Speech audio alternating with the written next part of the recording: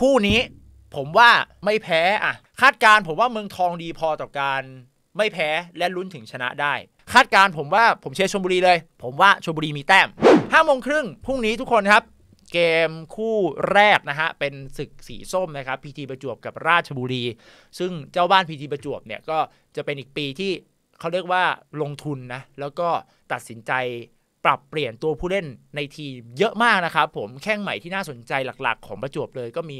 สหรัฐกันยะโรจน์นะครับก็ย้ายมาจากโคราชนะฮะแอร์ตันติราบาสซี่ท่าเรือที่บอกว่าจ่ายไม่ได้เนี่ยย้ายมาประจวบนะครับแดเลดึงมาจากราชบุรีนะครับ แล้วก็พันธมิตรประพันธ์จากชลบุรีนะครับ ซึ่งนักเตะเดิมๆก็ยังอยู่ซามูเอลโรซาที่ถ่ายเสื้อที่เป็นนายแบบในการถ่ายเสื้อก็ยังคงอยู่นะครับ ซึ่งช่วงต้นซีซั่นนะครับ ต่อพิฆาตก็ จะขาดโค้ชวัง เพราะว่าเขาเรียกว่าติดภารกิจในการเรียนโปรไลเซนนะครับทำให้ช่วงต้นเนี่ยโค้ชโอ่งจะรับหน้าที่ตรงนี้นะฮะซึ่ง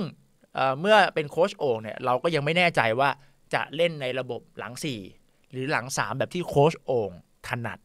นะครับแผนตัวรุกนะครับก็จะมีตั้งแต่ซามิโรซาแดนเลสารัตกัญญาโรดก็น่าจะลงพร้อมกันหมดนะครับแล้วก็ตัวผู้เล่นเนี่ยจริงๆก็ค่อนข้างคุณภาพเลยทีเดียวนะฮะส่วนฝั่งของทีมเยือนอย่างราชันมังกรนะครับราชบุรีเนี่ยปีนี้เขาก็เน้นเสริมไปที่เกมรุกนะครับโดยเฉพาะเรื่องของริมเส้นนะครับเขาก็ได้โชติพัฒน์พุ่มแก้ว ที่ตอนแรกมีข่าวลือกับบุรีรัมย์ด้วยนะ โชติภัทรพุ่มแก้วเนี่ยสุดท้ายก็ย้ายไปอยู่กับราชบุรี ไม่ใช่แค่ตัวเดียว ปีกอีกเยอะมากเจสซี่เคอร์แลนด์ไฟอีกโบเกีย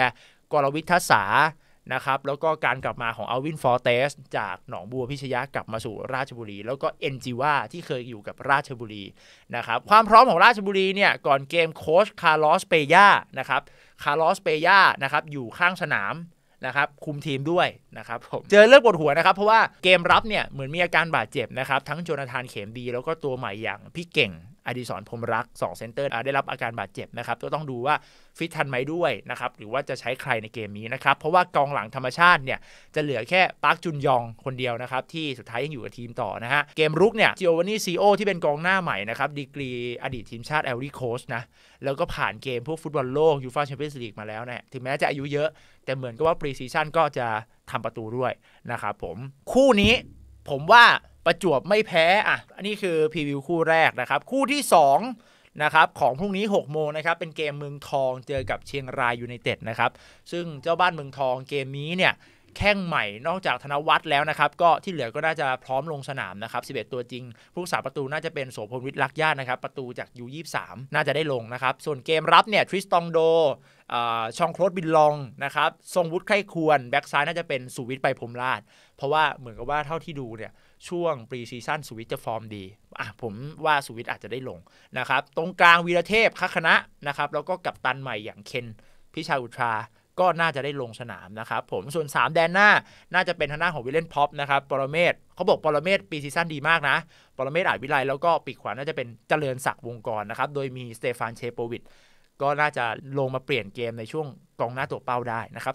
4-3-3 ซึ่งดูแล้วน่าจะประมาณนี้ เอาจริง ๆ ตัวผู้เล่นก็น่าเป็นห่วงแทนแฟน แฟนๆของเออเมืองทองแหละ เพราะปกติมันมีเอเชีย ถูกไหมมันมีซาดอ แล้วปีนี้มันกลับกลายเป็นไม่มีเอเชีย แล้วก็ไม่รู้ว่าเชโปวิดจะ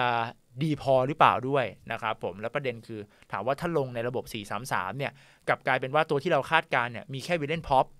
แล้วก็มีแค่บินลงที่เป็นต่างชาติ ที่เหลือก็จะเป็นไทยล้วนก็น่าเป็นห่วงเหมือนกันว่า ถ้ามีอาการบาดเจ็บเกิดขึ้น แต่ถ้าไม่มีอาการบาดเจ็บผมว่าก็น่าสนใจว่าเมืองทองก็น่าจะกลับไปอยู่ใน top four ได้นะนะครับฝั่งผู้มาเยือนนะครับเกมที่เมืองทองเปิดบ้านเจอเชียงรายเนี่ยนะฮะเชียงรายเองตลาดซื้อขายรอบนี้ส่วนใหญ่ก็ได้ตัวมาจาก BG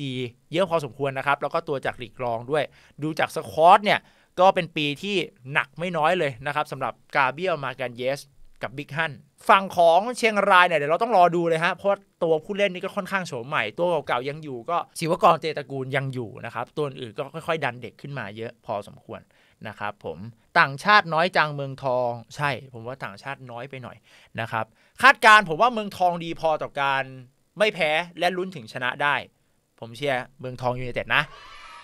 นะครับเพราะตัวยังครบอยู่ไงตัวยังครบอยู่ นะครับส่วนคู่ดึกหนึ่งทุ่มนะครับอะคู่สุดท้ายแล้วตราดน้องใหม่นะครับที่ขึ้นมาพบกับชมบุรี FC นะครับในยุคของโค้ชมาโกโตเทกุรัมโมรินะครับฝั่งเจ้าบ้านก็กลับเข้าสู่ไทยลีกอีกครั้งนะครับแล้วก็กลับมารอบนี้เสื้อสวยมาก อันนี้ขออนุญาตชมนะครับ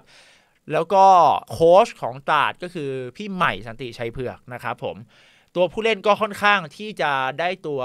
ประสบการณ์ไปเยอะเหมือนกัน ได้ตัว แฝดไปคนหนึ่งได้ตัวผู้เล่นอย่างฤทธิพรหวานชื่นไปอะไรเงี้ยนะครับ ก็น่าจะพอช่วยได้อยู่บ้างนะครับผมอีกอย่างหนึ่งที่แฟนๆตราดเคยส่งข้อความมาคือตอนนี้ตราดเองกับการ pre-season ยังหาชัยชนะไม่ได้นะครับแล้วก็เหมือนเอวานโดรเปาลิสตาที่เป็นตำแหน่งต่างชาติ กองหน้าที่เราคุ้นชื่อกันแหละที่เคยอยู่เทโล ก็ยังไม่ฟิตนะครับ ดูเหมือนกับว่ายังอยู่ในช่วงเวลาที่เจอปัญหาเรื่องของการจบสกอร์อยู่ ทีนี้เกมพรุ่งนี้ก็น่าเป็นห่วงว่าตราดเนี่ยจะสามารถทำประตูได้ในวิธีการเล่นแบบไหนนะครับ ส่วนทีมเยือนชลบุรีรอบนี้ก็ต่างชาติเปลี่ยนยกเซตยกเซตนะครับ อย่างที่ทุกคนทราบกัน แล้วก็นักเตะไทยก็เข้ามาอย่างเบนเดวิสนะครับ แล้วก็ประตูก็ได้พัติกเดโตมานะครับ เอเชียได้อีชันดงนะครับ ต่างชาติได้ยานดิกเอมโบเน่ แล้วก็วิลเลนไลล่า วิลเลนไลล่านี่มีคนแนะนำมาว่าน่าสนใจมาก ดีกรีเนี่ยเคยเล่น J League นะครับ มีแค่ 6 เดือนที่ผ่านมาที่หลุดจาก J League แล้วไปเล่น Super League มาเลเซีย จบ 6 เดือนนั้นแล้วมาอยู่กับชลบุรี เดี๋ยวดูว่า